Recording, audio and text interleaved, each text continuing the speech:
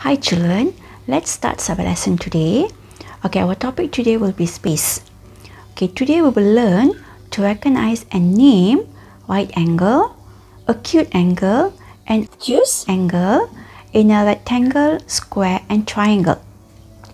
Okay, we will also learn to recognize and draw parallel lines and perpendicular lines. What is an angle? The space that is formed where two straight lines meet is called an angle. Look at this square. This angle is a right angle. A square has four right angles.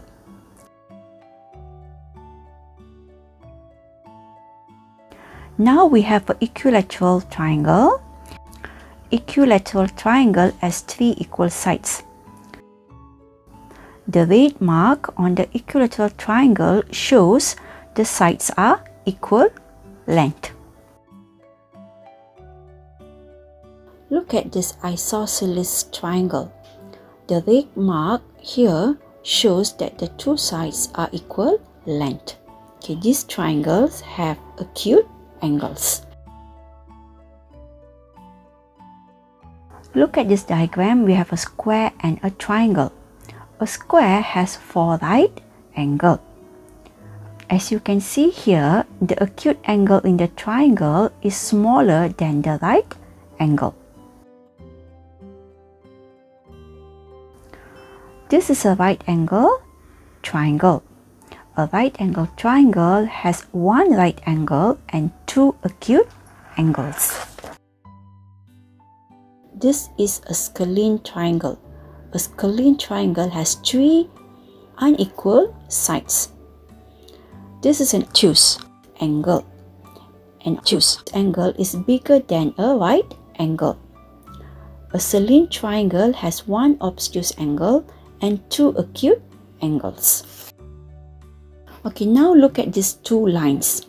A vertical distance drawn between the two lines are always equal and do not cross each other are called parallel lines. The lines intersect at the right angle is known as perpendicular lines. Now let's see how to draw a parallel line. Okay, we use the exercise book, a pencil and a ruler.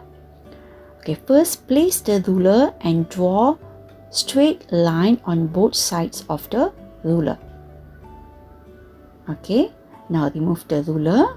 Now you can see the parallel lines. Okay let's draw perpendicular lines. Okay place the ruler and draw a horizontal line.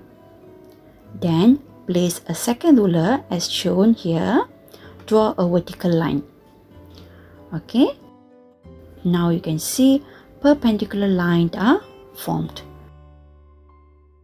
Okay, draw a right angle.